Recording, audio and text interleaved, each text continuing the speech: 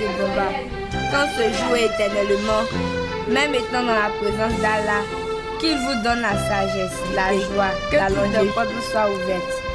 Et aussi qu'il vous donne un esprit de tolérance